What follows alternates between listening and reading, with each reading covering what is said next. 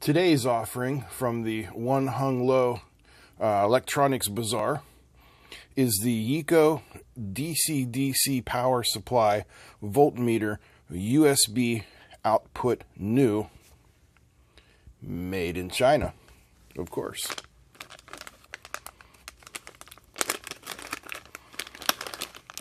So we get the board here. This is a buck converter.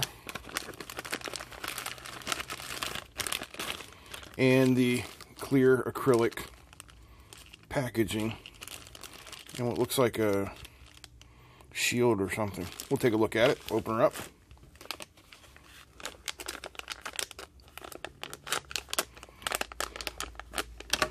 Oh, they had their Wheaties at the One Hung Lo factory that day, didn't they?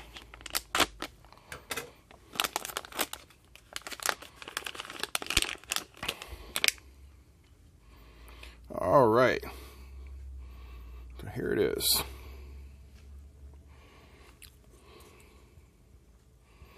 We've got input, screw terminals, output,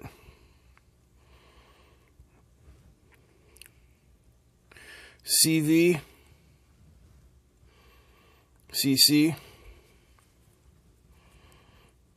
trying to read what that chip is.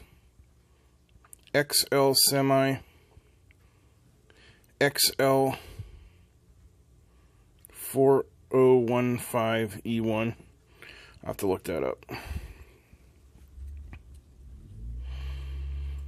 back we have something written in Chinese. I'm guessing that's a LM317 voltage regulator. Those two are LM358s, op amps. That's another uh, written in Chinese package. So uh, this thing is advertised as input voltage 5 to 36 volts DC, output voltage 1.25 to 32 volts, output current adjustable 5 amp max. Really? Okay. Working frequency 180 kilohertz, conversion efficiency 96%. Working temperature minus 40 to plus 85 C. Short circuit protection, yes. Over temperature, yes. Input reverse polarity protection, no. If necessary, please in input string into high current diode. I think they mean put a diode on your VCC.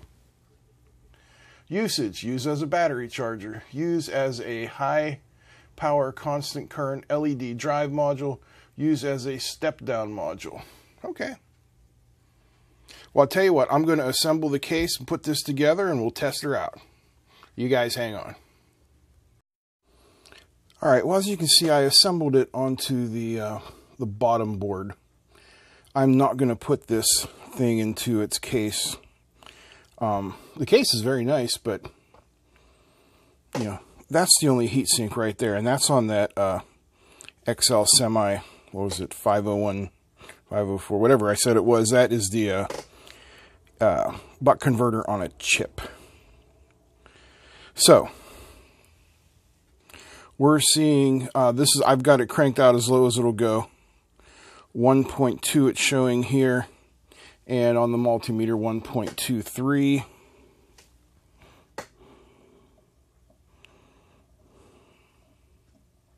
Let's check it at 3.3 volts. 3.36.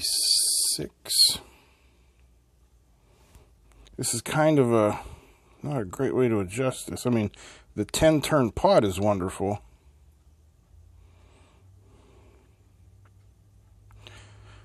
Right where there where it's just cracking the 3.3, I'm getting 3.31 on the multimeter. Guess that's all right. Next up, 5 volts.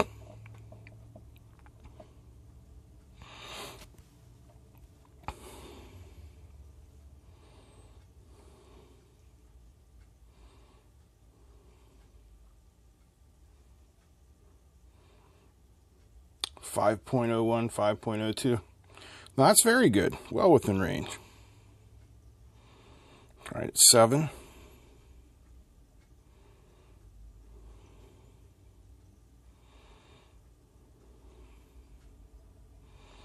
Seven point oh six, also very good. Nine.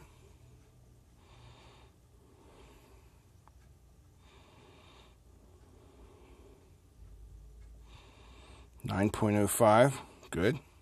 And then we'll see how high we can get. My input voltage is twelve point four three.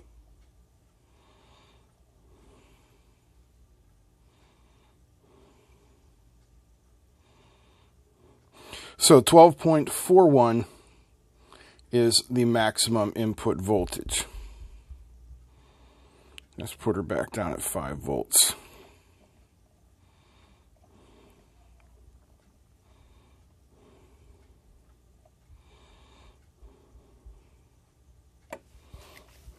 All right, I'll move the multimeter out of the way here for a couple minutes. Now,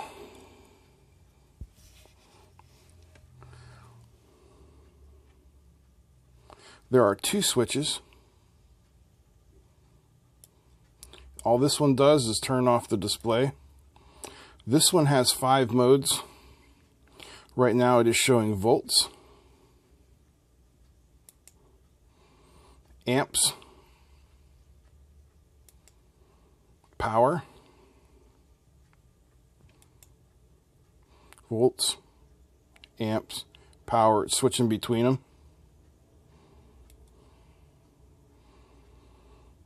and back there with the red in light on.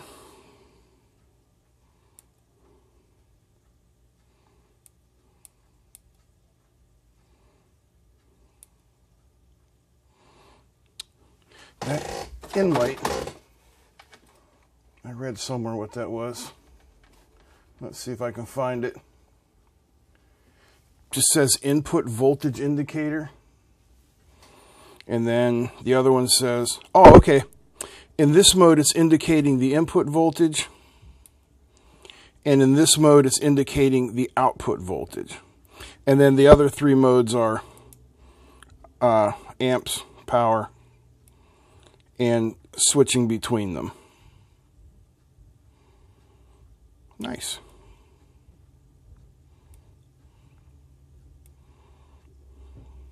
So if I set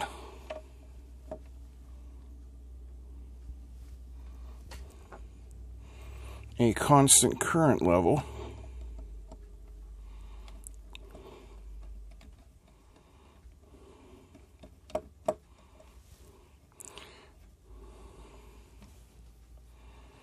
Hmm, nothing's happening.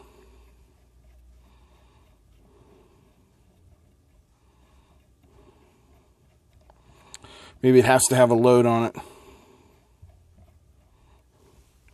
Now, if you look here, you'll notice that it does have a USB port.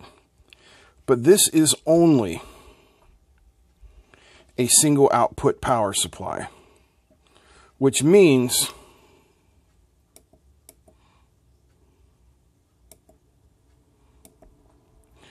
you better make sure you set this to 5 volts before you plug your $800 smartphone in there, or you may just let the magic smoke out. Now the case, of course, very nice, you know, very nice cut plastic.